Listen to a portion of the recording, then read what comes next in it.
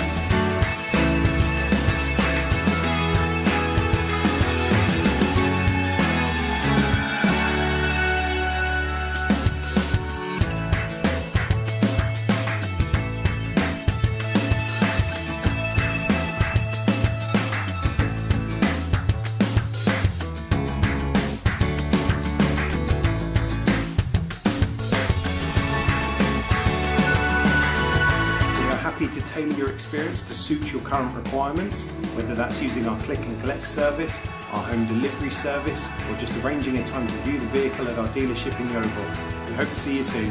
Thank you.